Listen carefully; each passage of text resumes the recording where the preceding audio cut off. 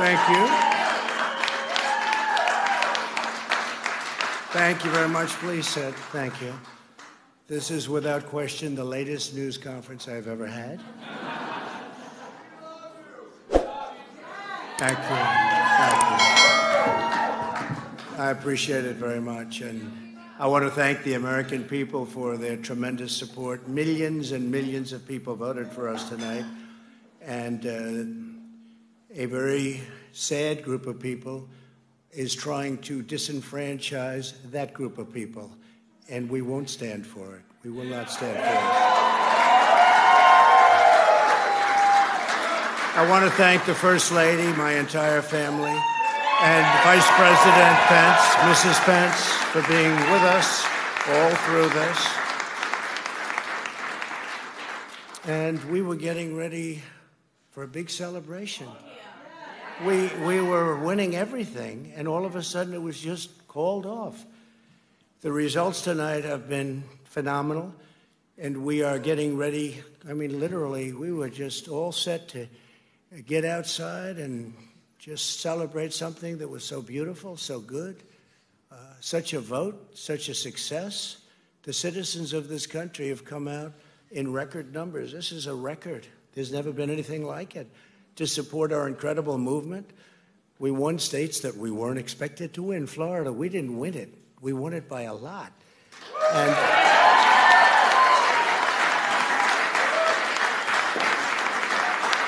We won the great state of Ohio. We won Texas. We won Texas. Won Texas by 700,000 votes, and they don't even include it in the tabulations. It's also clear that we have won Georgia. We, we're up by 2.5% or 117,000 votes with only 7% left. They're never going to catch us. They can't catch us. Likewise, we've clearly won North Carolina, where we're up 1.4% or 77,000 votes with only approximately 5% left. They can't catch us. We also, uh, if you look and you see, uh, Arizona, we have a lot of life in that. And somebody said, somebody declared that it was a victory for, and maybe it will be. I mean, that's possible. But certainly there were a lot of votes out there that we could get because we're now just coming into what they call Trump territory. I don't know what you call it, but these were friendly Trump voters. And that could be overturned. The gentleman that called it, I watched tonight. He said, Well, we think it's fairly unlikely that he could catch. Well, fairly unlikely. and we don't even need it. We don't need that. That was just a state that if we would have gotten it, it would have been nice, Arizona. But there's a possibility, maybe even a good possibility. In fact, since I saw that originally, it's been changed and the numbers have substantially come down just in a small amount of votes. So we want that obviously to stay in play. But most importantly, we're winning Pennsylvania by a tremendous amount of votes. We're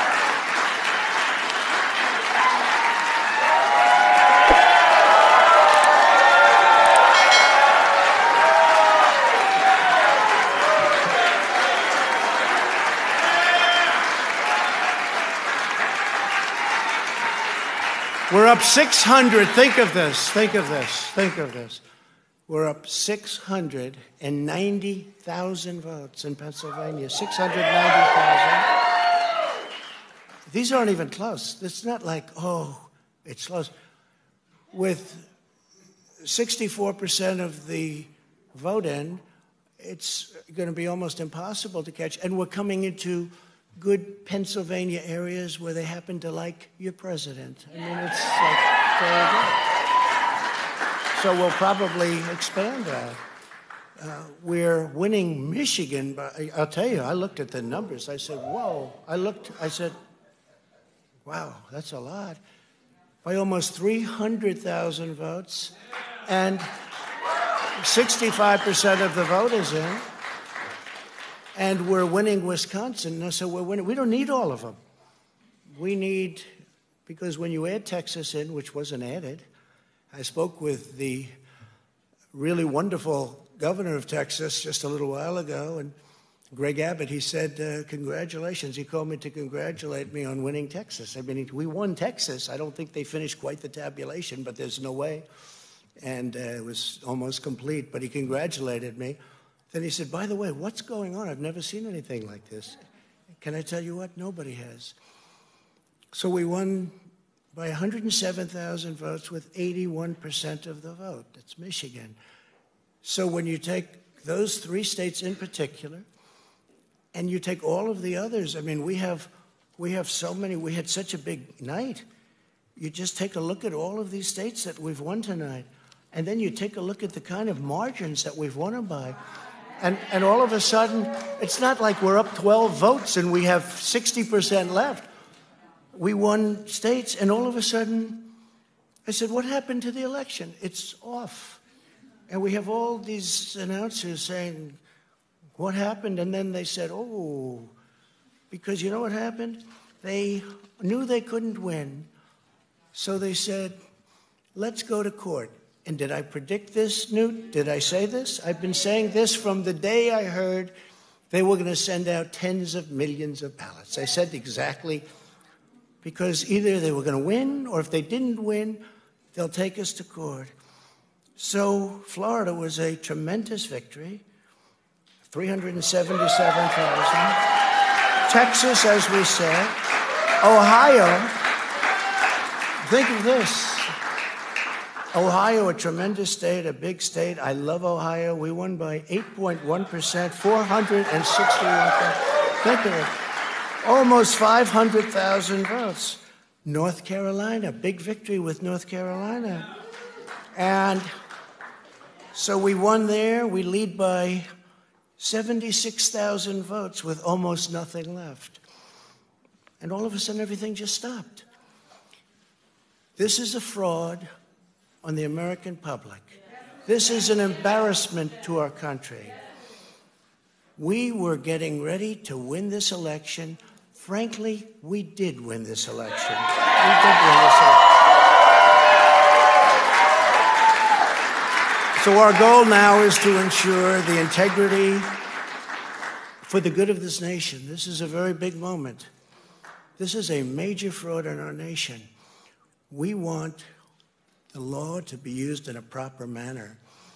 So we'll be going to the U.S. Supreme Court. We want all voting to stop.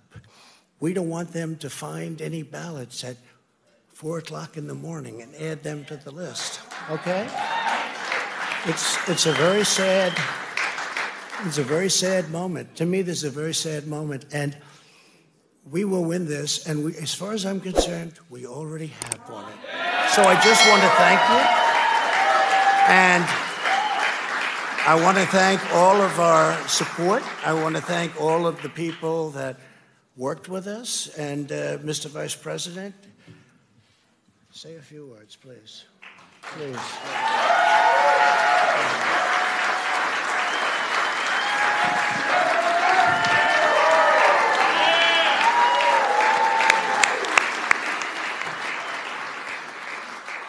Thank you, Mr. President. I want to join you in, in thanking more than 60 million Americans who have already cast their vote for four more years for President Donald Trump in the White House. And while the votes continue to be counted, uh, we're going to remain vigilant, as the President said. Uh, the right to vote has been at the center of our democracy since the founding of this nation, and we're going to protect the integrity of the vote.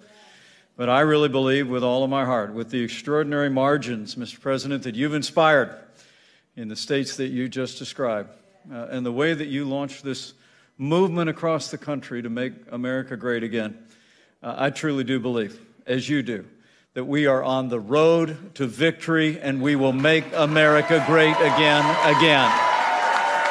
Thank you, Mr. President.